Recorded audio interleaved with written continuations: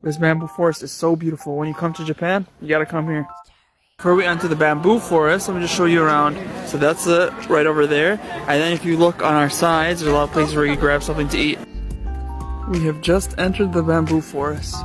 And look at these bamboo trees. They are so long. I never knew bamboo was this long. Some of the signs in the forest are made of bamboo as well.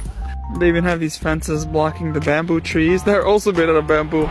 In the middle of the park, they even have this little shrine area. Let's go inside of it.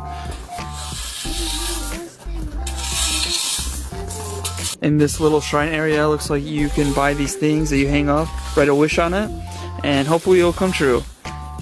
Remember, when you come to Japan, you gotta come here. This bamboo forest in Kyoto is definitely one of a kind.